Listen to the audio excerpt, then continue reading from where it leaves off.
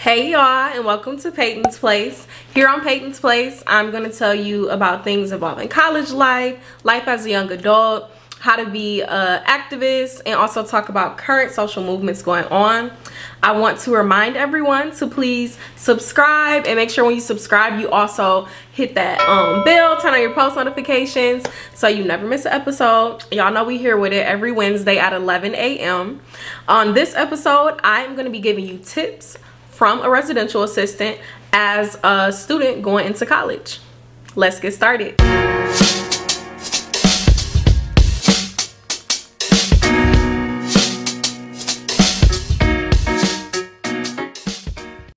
all right so i know it's been a long time since y'all have seen me here in my home i've been traveling as y'all can see if y'all missed it check out my um, blog from agp and also check out my blog from the dmv um, if you missed those two but here we're back with it um, y'all probably are wondering why i'm a little dressed up i went to church this morning Hallelujah. Yes, God. Praise the Lord. So that's why I got the blazer on. Usually I'm real chill. But let's get right into it. First, I kind of just want to explain um, the situation I was in as an RA. So I was an RA for two years, a residential assistant. Um, we called them house fellows at my university. So I was doing that job for two years or four semesters. So I had um, like two sets of incoming freshmen or honestly my dorm was open to all students. So I had freshmen, sophomores, juniors, and seniors. It was like anyone who wanted to live there could live there. So my university that I went to, um, you don't have to live on campus your first year, but like I don't think a lot of people know that. I personally didn't know that at first. Um, but like most people do stay on campus. And I stayed in one of the really nice dorms. Can't complain. It was super nice. Same dorm I stayed in my freshman year was the dorm I was the RA in. Um, and I had about 60 students i would say who lived um on my floor. So that's both genders. It was um both women and men who stayed in the dorm that i was in and there were two sides of the dorm. So i had a a co-RA that I worked with and they had about 60 students as well. So altogether we had about like I would say like 120 to 130 um give or take students. And there were five floors um five floors in the dorm that i stayed in. So i ain't gonna do that math. I yeah whatever.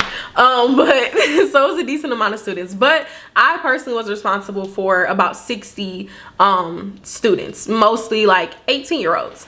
So as someone who lived in a dorm for a year as a first year student but also was an RA for two years. I want to give y'all the tips. So not just like this is what you should do this is what you shouldn't do but we all know how you want to enjoy yourself as a freshman and have fun. So I'm not gonna sit here and be like, you know, y'all shouldn't follow the rules because that's definitely my number one thing is to respect your space and follow those rules.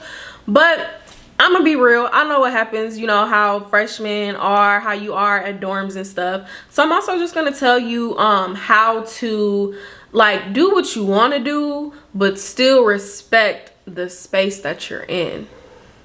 So I wrote down some tips because I want to make sure that I didn't forget anything when I was talking to y'all.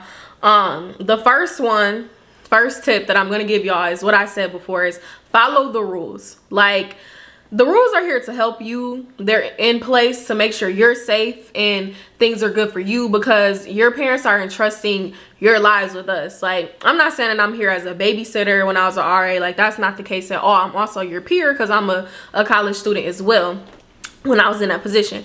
But um follow the rules. Like, they're there for a reason. We're not here to try to, like, scold you or like make sure you can't do nothing or have fun because it's college. Like everybody wants to have fun your first year of college. Trust me i know. But follow the rules. They're here for your safety. So that's the first thing i'm gonna say. Um the second thing is respect the space that you're in because this dorm or whatever it is that you're staying in is your home now. And you know everybody raised different but like my parents don't play about how they home look and being clean and respectful of them of people like our space and all of that. So it's very important to be respectful of the space that you're living in. Also because you're living in it with like I mean, it could be, dorms are all kind of different sizes. You could have like hundreds of people in your, like on your floor or however it's set up. So you want to be respectful of that space, not just because you're living in it, but because there are multiple people living in it as well. And you would want them to respect your space. Like you don't, if y'all are sharing communal bathrooms, um, you don't want to walk in the bathroom and it's like stuff everywhere, toilet paper all on the floor and like respect the space. So that's my second thing. Um, the next thing I would say is I'm just like keep it real with y'all. So I do not condone or promote underage drinking. The legal age of drinking in um, the United States and the state I was in Wisconsin is 21. You should not be drinking if you are under the age of 21. But as a RA, someone who worked in this role for two years, I know that people do underage drink. So I'm going to tell you how, what I told my residents. I do not care what you do outside of the space, outside of the dorm, our, our home. Like I don't, I don't care what you do outside of that area, but I do care about your well-being and you being safe and making it home safely. So I told my residents that, you know, what you do is that's on you. I'm not your parent. I'm not your babysitter. I'm not here to like scold you for making the decisions that you make.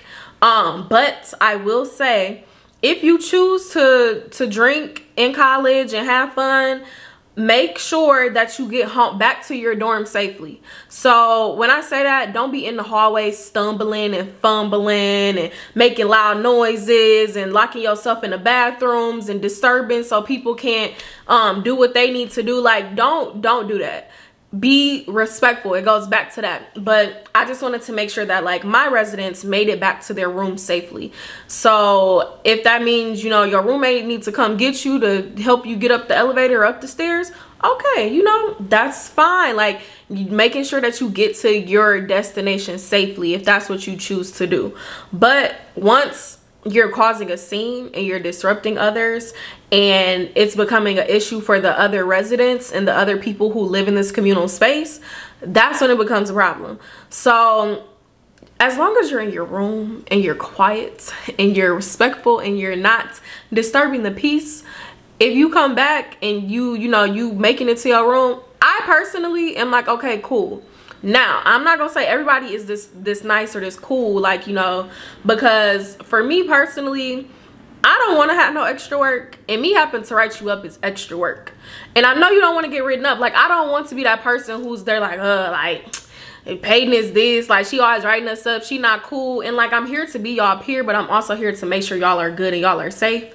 So you have to find that balance and not every RA is gonna be as cool as me some of them might be like, mm, you look drunk, I'm calling the police. So you have to play it by how your RA um, is. But regardless, if you get back to your room safely and you drunk in your room, like whatever, that's i mean they can't write you up if they don't see you so that's mostly the thing like just be smart and conscious with your decisions but also um be respectful of the space as well okay so now i want to talk a little bit about like what to do if you do get in trouble like if you are caught underage drinking or you get like a noise complaint um an RA comes to your your room or whatever I kind of just want to break down how you should handle that situation.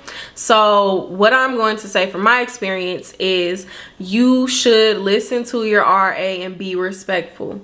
Also we know all the tricks in the book. Like, if I'm knocking on your door and you're taking 10 minutes to come to the door, I know you're hiding your alcohol or you're, you know, you have drugs, whatever. Like, I know what you're doing or you're trying to think I'm going to walk away because y'all are quiet now. Like, no, I'm not walking away. I'm still here at your door. Um, so just like be responsive and be respectful if if i'm knocking it's for a reason probably y'all are too loud and y'all are probably drinking that's why y'all are loud um so just like cooperate. Also if i ask you to pour out your your alcohol or throw it away just follow the rules and cooperate because i know not all universities have police um like you know districts or whatever within their campus but the campus i went to we did. And um i'm like I don't really like getting the police involved because like I know me personally, I'm not always comfortable with police officers. So I don't ever want to put someone else in a position where I would be uncomfortable myself.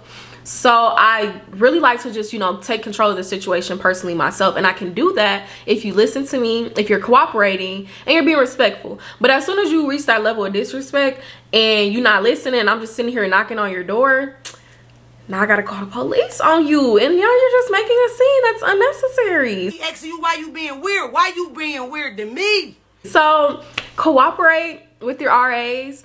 Um, we were you all a few years ago, like not even that long ago. So we know all the tricks, like we know what y'all are doing. Like it's y'all not smooth.